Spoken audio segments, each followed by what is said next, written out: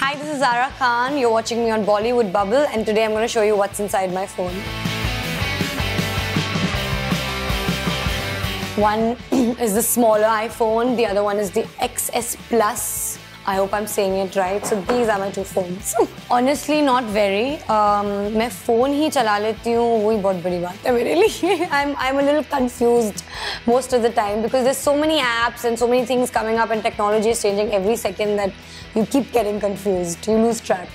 It's my grandfather's. Uh, so basically, my grandfather passed away in 2017 and uh, he was very very close to me so i just keep looking at his picture all the time uh, currently at the moment it's beautiful people by ed sheeran so it's my brother he's, he's just messaged me congrats uh, I called a very uh, dear family friend of ours, an uncle of mine, Raj Suri. So, unse baat he was congratulating me on the song. uh, alarms in my phone. Okay, the last alarm I had put, I don't remember, but it's at 10:15.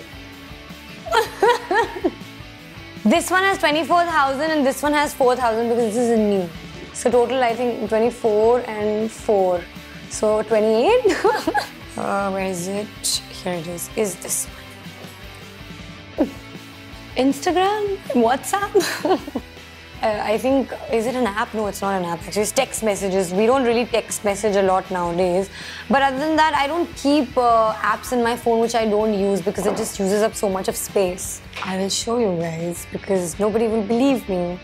I have over 255 WhatsApp messages which are unseen. I'm sorry to the people who have not replied to me. Maaf kar Hey guys, I hope you like what was inside my phone. Stay tuned to Bollywood Bubble.